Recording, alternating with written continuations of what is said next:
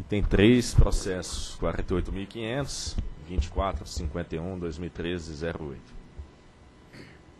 Recurso administrativo interposto pela Amazonas Distribuidora de Energia SA, em face do auto de infração 1002 de 2013 da SFG, em razão de não conformidades que levaram a falhas no processo de restabelecimento do sistema elétrico de Manaus, quando do blackout ocorrido em 11 de novembro de 2011. Diretor relator, Dr. Revi Barros, informa que há pedido de sustentação oral. Em 11 de novembro de 2011, às 8h47 minutos, ocorreu uma perturbação que levou o sistema elétrico de Manaus a um blackout, conforme informações prestadas pela Amazonas Distribuidora Energia SA, através da carta número 168-2011, 16 de novembro de 2011.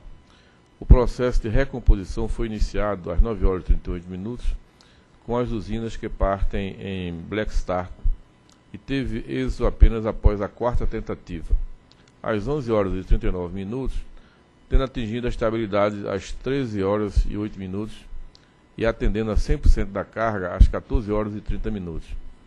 Em reunião realizada no dia 13 de dezembro de 2011, a Amazonas Energia apresentou a análise de blackout no dia 11 de novembro de 2011 à representante das Superintendências de Fiscalização dos Serviços de Geração SFG e de Fiscalização dos Serviços de Eletricidade SFE.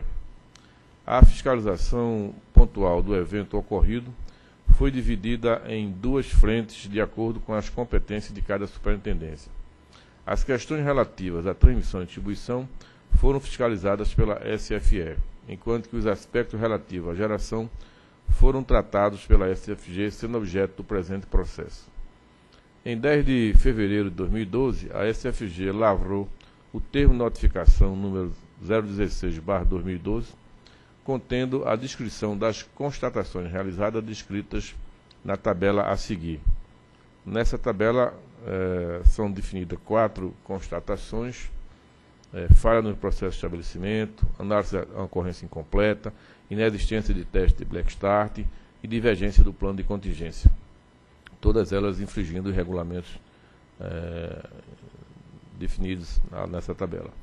Após analisar a manifestação da Amazonas Energia, através da carta PRR número 030-2012, 19 de março de 2012, em 8 de abril de 2013, a SFG decidiu pela lavratura do auto de infração número 1002-2013, mediante o qual aplicou uma multa de R$ 3.602.114,21 é, que corresponde a 0,24% do faturamento líquido da empresa nos 12 meses anteriores.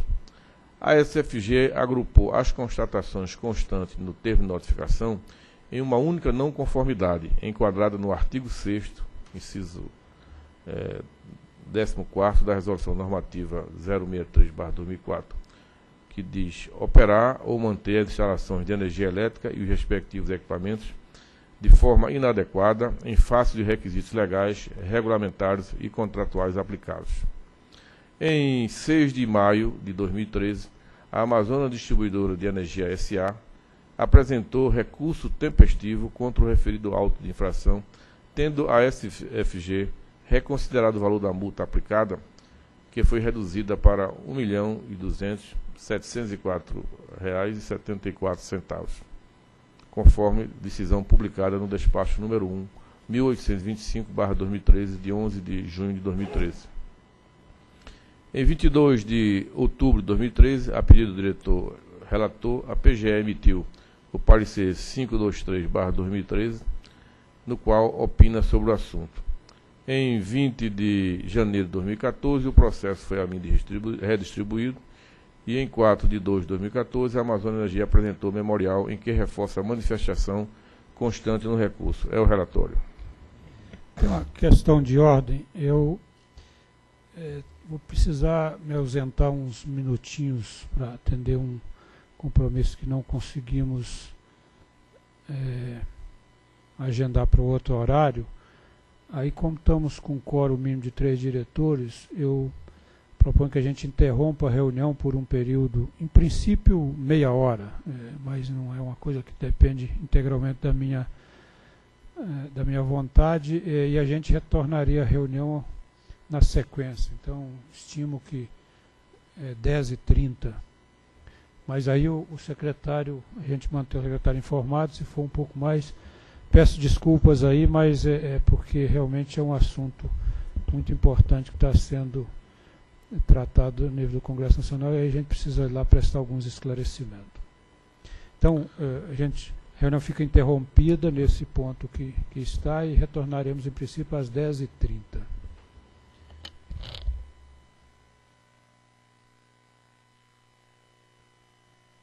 Então, retornando aqui ao, ao item de número 3, o processo 48.500-2451-2013-08.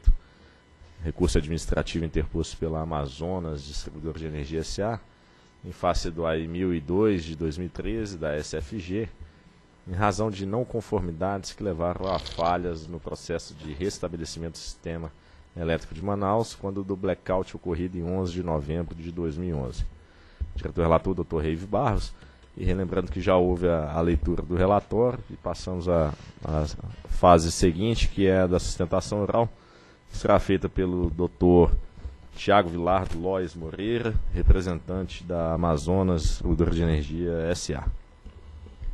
Senhores diretores, senhor procurador, é, subprocurador, senhor secretário-geral, senhores diretores, o, o, como muito bem destacado pelo Dr. Reive, relator do, do, do caso, é, o recurso administrativo ele se funda sobre três aspectos. Lembrando, é, e não, não, não, nunca é demais, lembrar que a gente não está brigando pelo valor da multa, mas sim sobre os critérios a que ela se funda.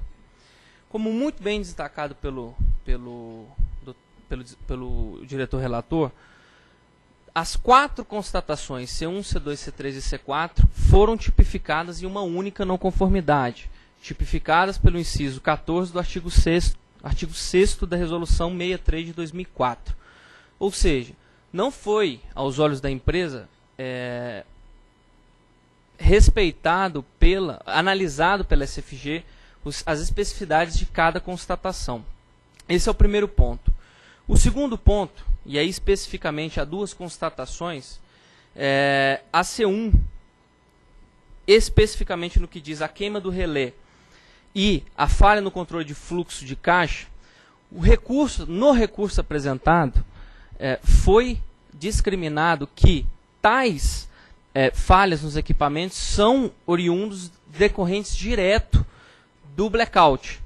E isso é, sequer foi é, é, objeto de apreciação pela SFG. Por essas razões, por essa razão, a empresa entende que a constatação C1, assim como as demais, é eivada de, de vício, o que remete à nulidade do auto. E por fim, já com, a constatação C4, como também dito no relatório é, lido, essa constatação C4 ela é exatamente, ela é idêntica à não conformidade a N5 do auto de infração 086 lavrado pela SFE de 2012.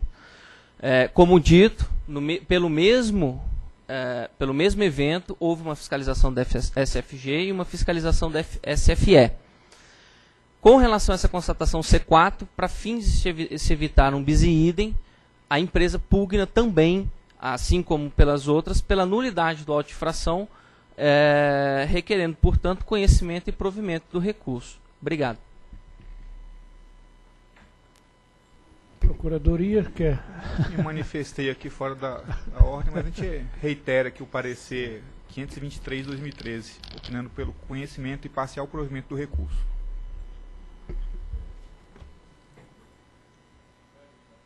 A Amazonas alega que estaria sofrendo dupla penalização em virtude da existência de processo instruído pela SFE referente à ocorrência, a SFG, com respaldo da PGE, reitera a diferença entre o processo atual e o processo instituído pela SFE, uma vez que trata do restabelecimento do sistema Manaus e aquele trata dos casos do, blackout. Ainda assim, entendo pelo fato que pelo fato de haver uma relação de casualidade entre os objetos das duas fiscalizações, pode-se atenuar em certa medida o valor da penalidade, como será explicado ao final desta fundamentação. A empresa alega excludente de responsabilidade em virtude de fortes chuvas e intensas descargas atmosféricas que atingiram o local. Em análise da alegação, a PGE observou que a alegação não é apropriada ao processo em tela, considerando que as falhas que levaram ao auto-infração não têm relação com as chuvas e sim com as falhas no processo de restabelecimento do sistema elétrico decorrente da falta de uma análise melhor da ocorrência de preparação adequada. Então são duas questões. Uma questão é a falha em si, que foi analisada pela SFE, e a outra a questão foi o tempo é, exagerado de estabelecimento, que foi analisada pela FCG. Em seguida, a empresa alega a caducidade da atuação sob a justificativa de que foi notificada sobre a lavratura do auto-infração após mais de um ano da manifestação ao termo de notificação de 10, é, 016-2012, de 10 de 2 de 2012, quando a resolução 63-2004 prevê um prazo de 45 dias após a ação fiscalizatória para o feito. Com relação ao assunto, a diretoria da ANEL já editou súmula número 12 de 2009, do qual considera o prazo contido no artigo 20 como um prazo impróprio. Além disso, a Amazonas apresentou alegações sobre as sanções administrativas irrecorríveis consideradas sobre a base de cálculo utilizada sobre uma suposta não observância dos princípios de ampla defesa.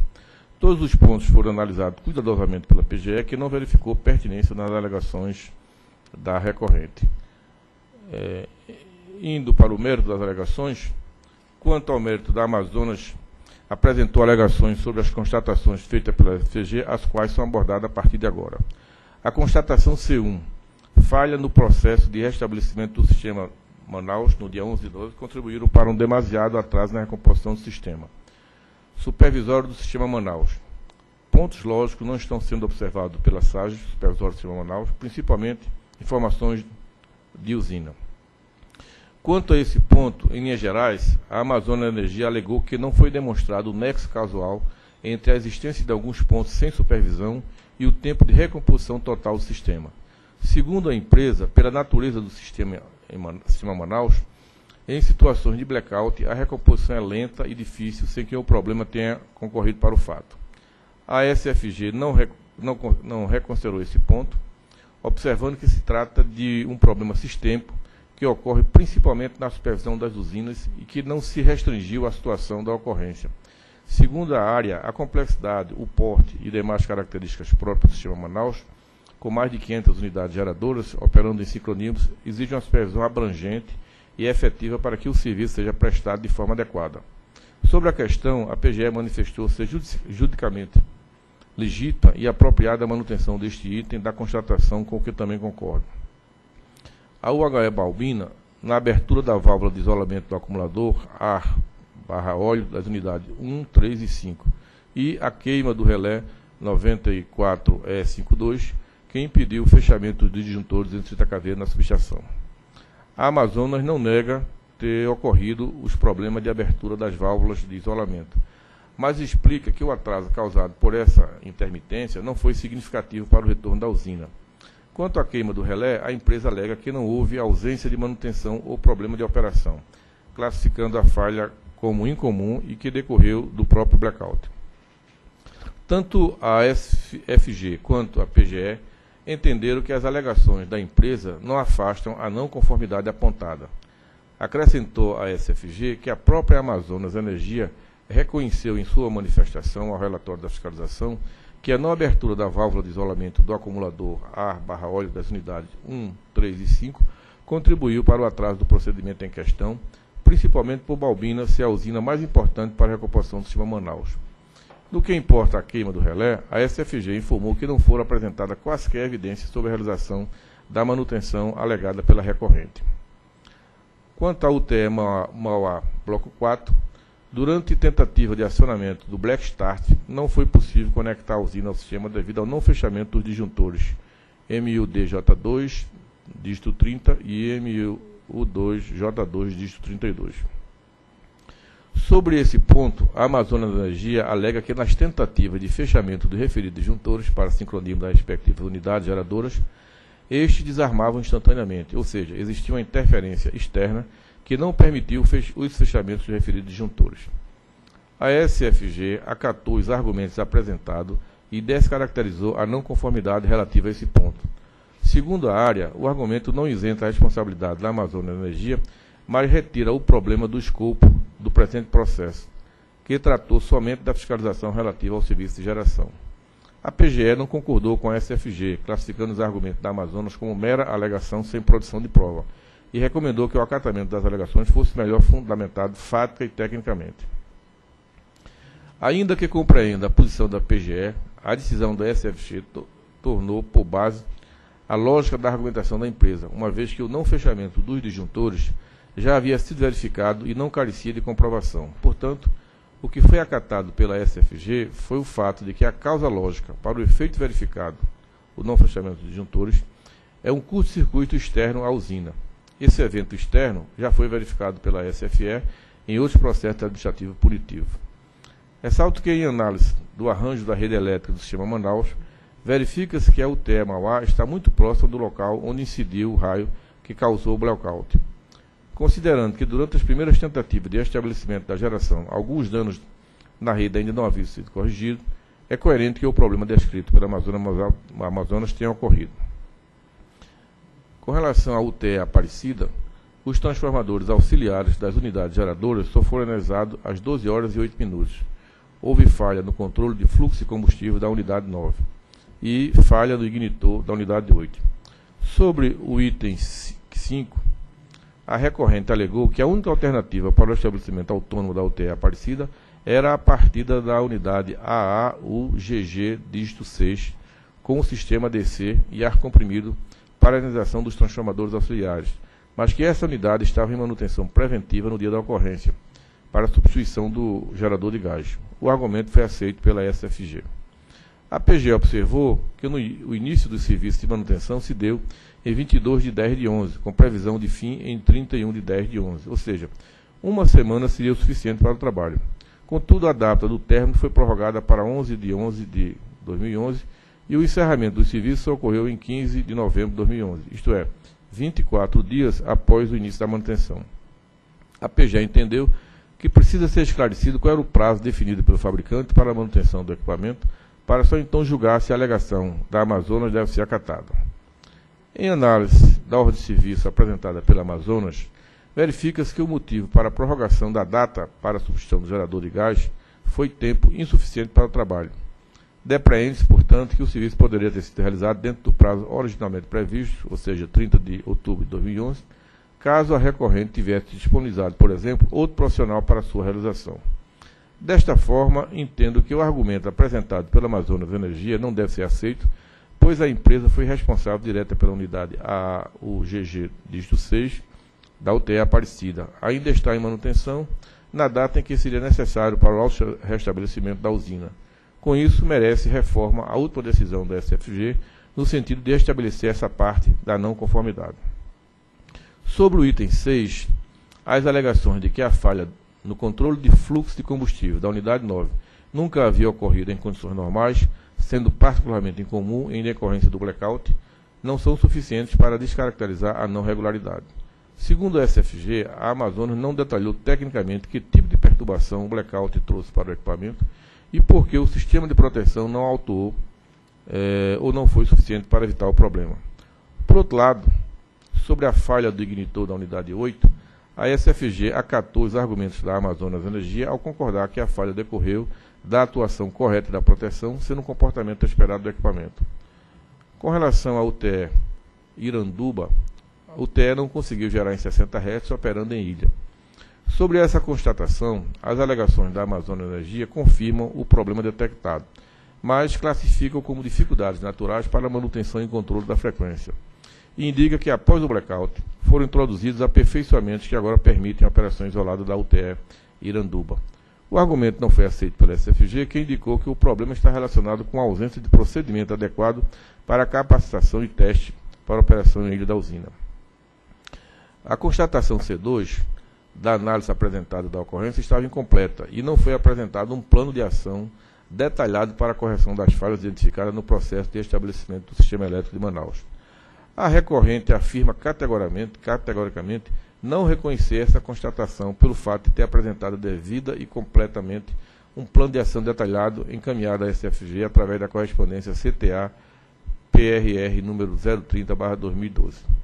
Segundo a SFG, foram necessárias várias cobranças posteriores à manifestação do termo de notificação para se complementar a análise da manifestação e o plano de ação da empresa para a solução do problema, sendo que algumas justificativas só foram trazidas já no recurso do auto de infração, fato que dificultou a atuação da fiscalização.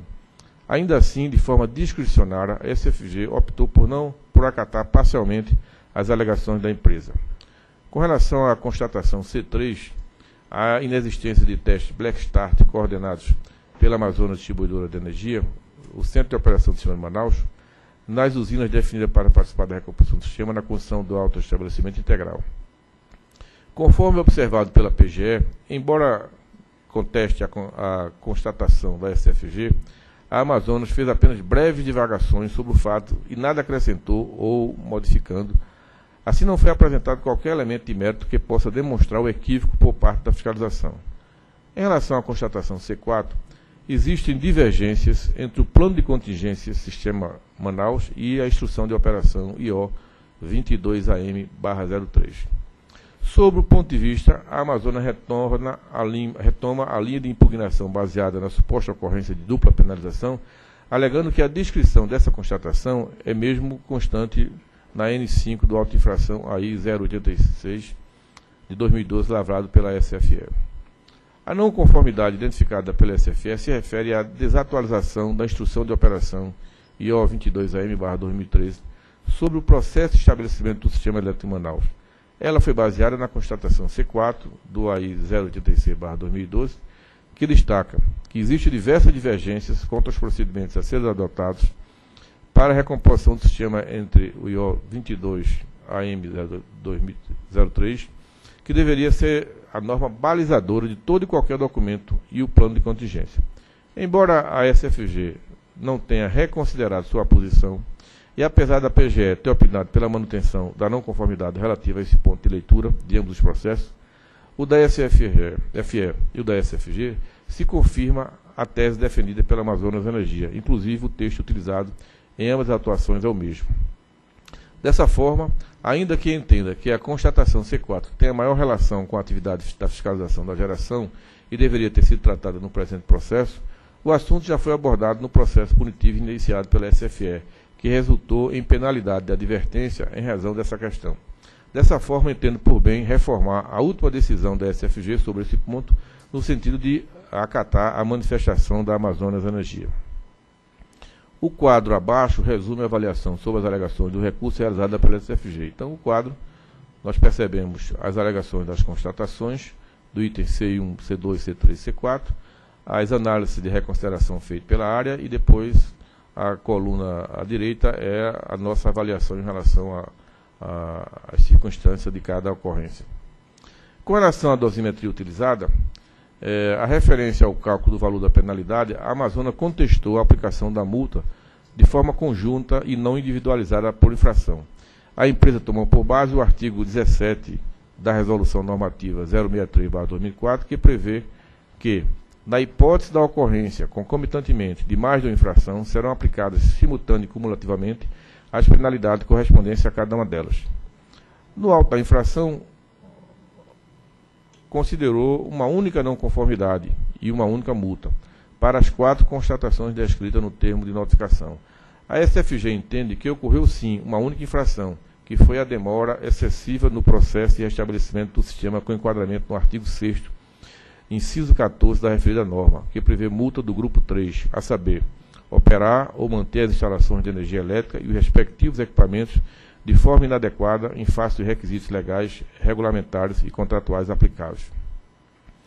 Em análise da questão, a PGE apresenta opinião contrária à da SFG, ponderando que cada constatação averiguada acarretou, em alguma medida, o agravamento da penalidade. Segundo a PGE, no caso em questão, Ainda que se trate de uma, uma só não conformidade, várias constatações e infrações foram identificadas para que se alcance o valor final. Assim, cada constatação deve ser passiva de medida, seja ela qual for, de forma que o administrado tenha a exata proporção de cada conduta culpável que deu ensejo como permite o controle de legalidade do ato administrativo. Com base nisso, a PGE sugere a individualização do percentual de cada circunstância. Em análise, nota-se que a PGE confunde os conceitos de constatação e infração. Não entendo que tais conceitos signifiquem a mesma coisa. Uma constatação pode não significar uma infração. Uma infração pode decorrer de conjunto de constatações, contanto que tenham a mesma natureza. Isso ocorre com frequência em diversos processos punitivos na própria ANEL. No caso em tela, a SFG não deixou de analisar as alegações da empresa em cada uma das constatações, mas identificou em todas elas uma única conduta culpável, ou seja, a inadequação da operação e manutenção praticada pela Amazonas Energia no que tange a atividade de geração. Pelas constatações listadas na secção do mérito desta fundamentação, nota-se que a principal razão para a imposição da multa foi descrita na constatação C1, as demais constatações poderiam muito bem ser incluídas nos pontos de estado sob a constatação C1, pois todas representam falhas da empresa que contribuíram para um demasiado atraso na recomposição do sistema. Assim, embora fosse possível, nesse caso, não entendo necessário realizar o proposto pela PGE, sendo possível estabelecer uma dosimetria que atenda aos critérios de proporcionalidade necessários ao controle da legalidade do ato e possibilite ao agente exercer adequadamente o seu direito ao contraditório e ampla defesa. Nesse sentido, para o cálculo do valor da multa, a SFG partiu do valor de 1% do faturamento, 15 milhões 03807 reais 93 centavos, teto previsto para enquadramento do grupo 3 utilizado. Com base em procedimento padronizado, a área considerou ao máximo as condicionantes de abrangência e gravidade, até 50%, danos ao serviço ao usuário, até 20%, e a existência de sanções administrativas recorríveis até 10%, descartando, descartando condicionante vantagem oferida pelo infrator até 20%, que não, não foi o caso. Após esse passo, a multa estava reduzida em 20% e o valor da multa aplicável seria de 12 milhões é, e reais e 34 centavos.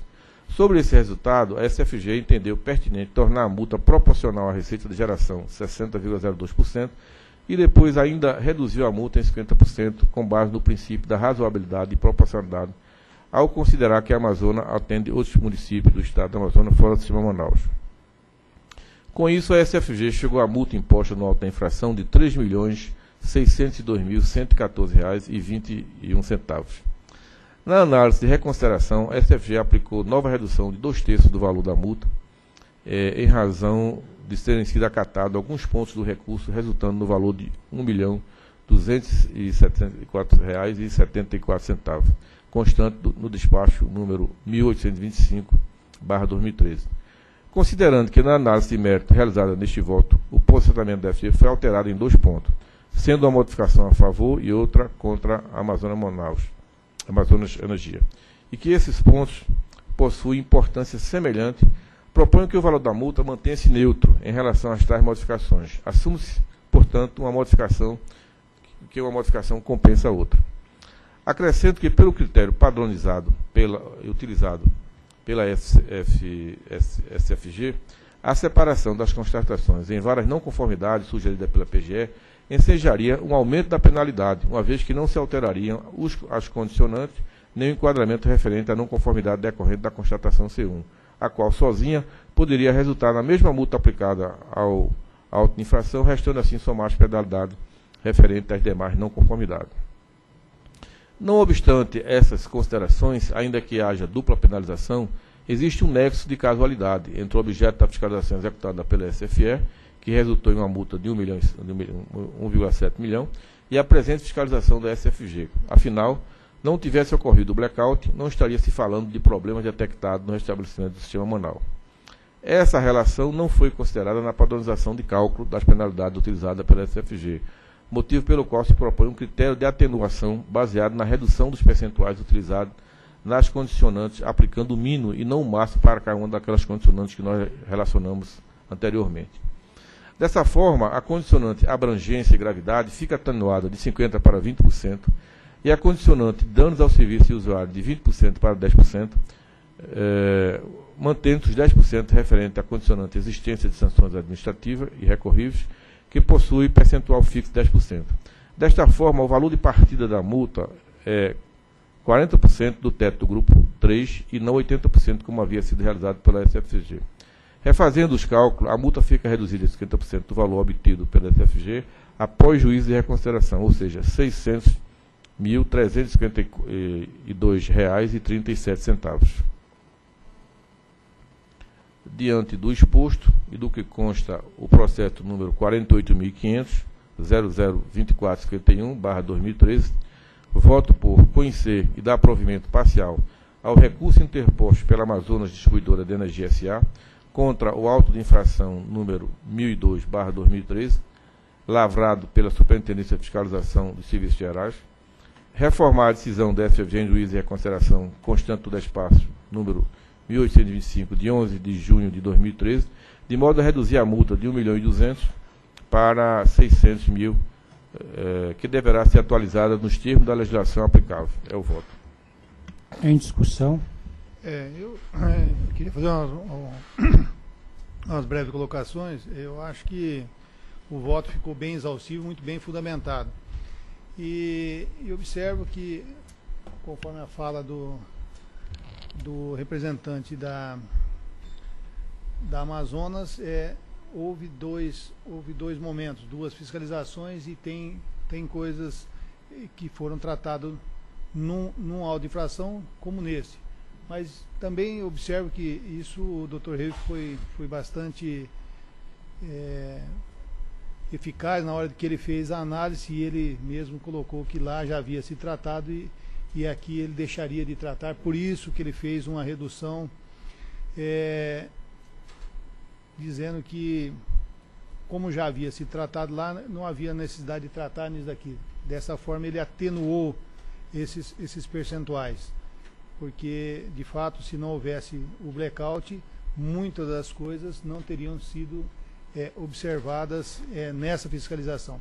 Embora que eu entendo que é, a questão da recomposição da, da Amazonas foi um tanto, pelo jeito que foi colocado, ruim. É, tivemos vários problemas de black start, né, de relés que não funcionaram, disjuntor que não, que não abriram. Então, observa-se que o, que o, o sistema de, de, Manaus ele carece realmente de uma atenção por parte da Amazonas. É, então, eu entendo que, pelo que o Dr. Reve colocou aqui, está bastante razoável a aplicação dessa penalidade. Ok. Em votação, então.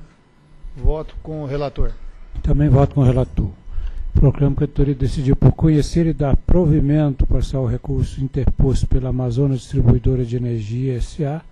contra o auto de infração 1002-2013 da SFG, lavado por aquela superintendência, e reformar a decisão da SFG foi tomada em juízo de reconsideração, constante o despacho 1825 de 11 de junho de 2013, de modo a reduzir o valor da multa para R$ 600.352,37.